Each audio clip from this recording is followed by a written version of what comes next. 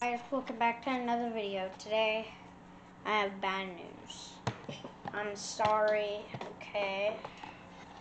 I, I lied.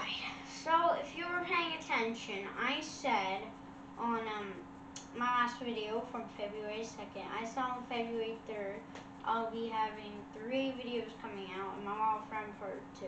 Wild Friend Part 2 is true, but three videos is not.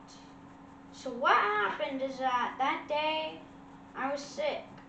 In the morning I decided not to record because my mom said she would be my cameraman and then I just didn't feel good in the afternoon area so I just sat at home and played video games but I'm sorry guys I really didn't mean for this to happen. I wasn't trying to lie to y'all obviously. Y'all are like y'all like a friend to me. But yeah, I just I didn't mean to do that, okay?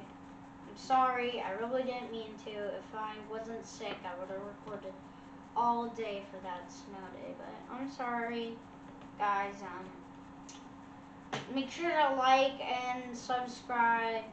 Right, one like equals one like equals one rip the videos. But um, if we get another snow day this year or one next year, then it'll be a blessing. Well, not to all people. And make sure if we ever get a snow day, keep your faucets dripping. It's super important.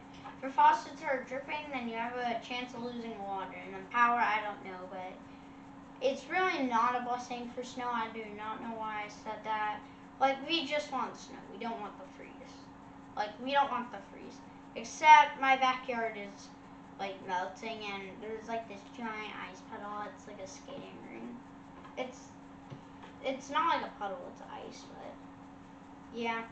Like and subscribe, and um, we'll see you in the next video. Bye, guys!